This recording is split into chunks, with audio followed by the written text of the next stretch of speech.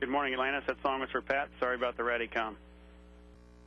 Good morning, Shane. That song captures uh, what I think every time I look out the window. So thanks to my wife Diana and my sons Andrew and Patrick.